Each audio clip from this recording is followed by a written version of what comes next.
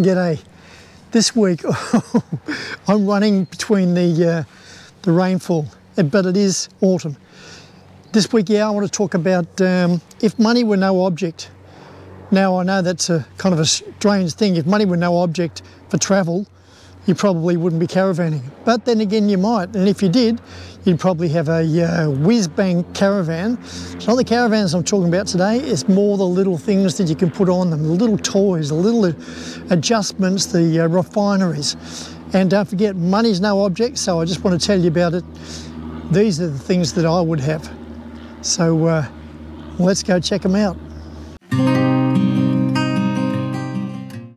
I would almost definitely change the gas cylinders there for the new sexy ones that are made out of a special composite material.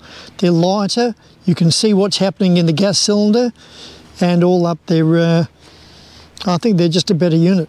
And the only catch is you do have to refill them, but I'm sure that's the least of the problems. Another thing I would change straight away would be the classic jockey wheel. I replaced that with a remote control electronic one that sat in the drawbar and just press the button, up she goes or down she goes. Absolutely beautiful. I'm pretty sure all of us are big on security. This is the, uh, wouldn't call it the poor man's, but certainly the budget version of locking up the uh, jockey wheel.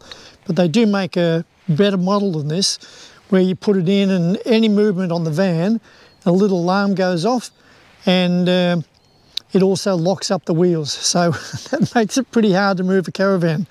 Since the caravan is pretty expensive to buy, you really don't want it to be wandering off in the west. And there is a massive amount of, uh, you're not going to believe the statistics of how many caravans are stolen in Australia every year.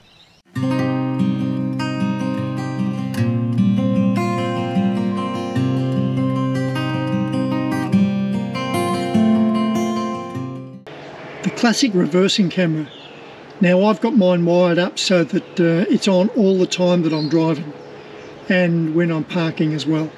So I don't have to flick in reverse or anything like that. It's just showing me on a screen inside the cabin and I can see sort of what's behind me and a little bit to uh, either side of the caravan which is great. I definitely recommend that. I know what you're asking why have you got two? Well, a sponsor wanted me to review one of their uh, systems and unfortunately it's a wireless system and in my case it really just did not work at all so I've still got it stuck on the caravan still trying to get the wireless section to work great idea just never really worked not for me again if money were no object I'd replace uh, these little holders there's some really really sexy units available. And I'll replace that with uh, two either one either side of the van. Now you can either pop water in there or you can pop diesel or fuel. Uh, my preference would probably be to have one water and one diesel. They're a great idea. And as I said they make some really really nice uh, units that are lockable and also means that I think the ones I've seen you don't actually have to lift this out. You can pour the water out from here which is a great design. Now this next feature you may actually have to have it already in the caravan but if you could modify it I'd have it modified. Basically what it is is there's a uh, little section here on the caravan and it's got a built-in pump so what you do is you pull it out, you put your hose extension, run it down to the creek and then just flick a switch and what happens is the water pumps up and then pumps into your designated uh, water tank. I guess it's probably going to go into the, the uh, grey water maybe just for uh, washing the clothes. But if you're a gambling person you could always filter it and uh, put it in your water if you're really stuck. Now the next topic I want to talk about is a little bit delicate. Americans call it the bathroom. Australians call it the toilet or the dunny. And what I would do is straight away, if money were no object, I'd replace the whole system with a compostable toilet. Now uh, they work basically in a completely different system. You buy little briquettes from the uh, hardware store break them up, drop them into this particular compostable toilet, twirl around the handle a couple of times, and that's it. And uh, no more smells. And because it all does what it does, you can actually, at the end of a period of time, which is typically six weeks minimum, up to a couple of months or even three months, depending on the usage, um, you can actually take the the used part and drop it in any rubbish bin because it's not going to have any smell, it's not going to have anything to view or to look at. So uh, that's the first thing I would do. Now, if um, the other thing I might still think about putting on is a SOG, S-O-G. You have to drill a bit, and well, obviously I wouldn't if money were no object. I'd get someone to do it for me. and put in the SOG thing. So basically what the SOG does is like a little fan system and it's working so it sucks the uh, any smells in the caravan it also allows extra oxygen so what that does is decomposes the material in the uh, in the canister and uh, yeah apparently it's supposed to be brilliant so if you've got someone really delicate and even even if you don't pop one in beautiful so that's the old SOG system Now those who know me will understand I'm a wheels man. So the first thing I would change on the caravan would be the wheels. I'd change the four wheels on the dual axle and also the spare and I'd marry them up to be the same as the tow vehicle. Now that may or may not be possible, but that's certainly an ideal situation. So for instance, if you've got 17s on the tow vehicle and 17s on the caravan, you're already looking good. You've just got to make certain that the uh, offset of the wheels on the car are the same as the ones on the caravan. All sounds a little bit technical, so don't just rush off and get some wheels. Make certain you've got some uh, professional advice. The other thing is I would put my uh, favourite all-terrain tyres on it. Uh, would, I would not put muddies, but my all-terrains and uh, then I'm ready and set to go. If money were no object, yet again, I would have that roof covered with solar panels. I don't really think you can go overboard. So I'd get the uh, biggest solar panels, best quality, and uh, get my man, whoever that'll be, sort that out. So I've got lots of solar panels on the top, then coming down through uh, my favourite, which is the Victron Bluetooth uh, MPPT controller. I think mine's 100 slash 50. It'll take 50 amps coming through, and solar coming down, and then the next one is the batteries. If I had loads of money, straight away I'd go down and uh, modify my drawbar, put on a uh, box that had a sliding uh, mechanism which had my generator on. Now the generator, I know some people say, oh, I don't want a generator. Believe me, you've got loads of money, you'll want it you will use it a bit, especially if you're just out in the middle of the bush, the batteries are getting low, start up the generator, beautiful. I'd get a uh, 2 kV and I'll either get a Yamaha or a uh, Honda. They're both really quiet. I wouldn't get any more than 2 kV because they'd be heavy, it's too heavy to lift. And if I really just sort of thought, oh, you know, I'll just get a little one just because, then I'd get a little uh, Yamaha 100. But I'd have that and that would set me right and I could just pull out the drawer on the generator, start her up, pop it back in, beautiful.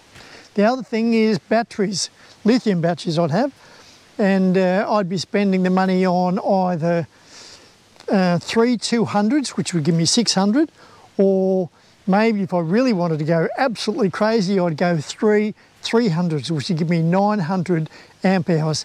I know weight's a bit of an issue and that would put a fair bit of weight on it, but I'll tell you what, you would have you'd have electricity forever. There really would be a major, major difference. So I think the ideal really sort of for these days is probably 400 amp hours, which might be two 200s, or um, 600 would be pretty good, but certainly 900 would just be out of oh, it would just be so good. An integral part of your electrical system this is the person with money, loads of money, would be uh, an inverter. Now the inverter I love the most, I've already got it set up in the caravan and that's set up in such a way that I don't have to flick any inverter switches or anything. I can just plug in the uh, toaster, put down the bread, it cooks. It just gets on with it. So I've got 240 volt, sort of whenever I want it, as long as the batteries are up. But I've already told you about my dream about the batteries, loads of money. The uh, one I reckon that you should get if you've got that sort of cash would be a, Victron 3000. So it's a 12 volt 3000 with 120 amp charger built in. That means if you've got shore power, you can plug into the uh, inverter just to charge up the batteries and 120 amps coming in, woohoo! Now that 120 amp might have to be uh, whittled back if you don't have enough battery. That's all a very complicated issue. You'd have to talk to a uh, Sparky. There is a rule for it. But uh, yeah, that inverter and then have it converted over into the van so you don't have to flick any switches. You've got your massive amount of uh, lithium batteries and you've got your really powerful smart uh, Victron Smart Smart 2 I think it's called and uh, that would just be again the dream.